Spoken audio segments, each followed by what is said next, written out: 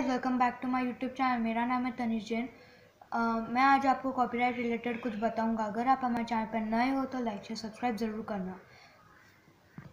तो दोस्तों, आप अगर नए यूट्यूबर हो तो आप यूट्यूब में किसका तो सॉन्ग डालते हो या म्यूज़िक लेते हो तो आपको, आपके ऊपर कॉपीराइट क्लेम आता है। पर कॉपीराइट क्लेम से आपका चैनल पर कुछ इफ़ेक्ट नहीं होता। बहुत सारे नए यूट्यूबर को पता नहीं होता कॉपीराइट क्या होता है। तो कॉपीराइट स्ट्राइक अलग है और कॉपीराइट क्लेम अलग है। कॉपीराइट स्ट्राइक अगर तीन महीने में तीन बार होती है तो आपका चैनल डिसेबल हो जाता है। कॉपीराइट क्लेम से आपका चैनल को कोई इफ़ेक्ट नहीं होता।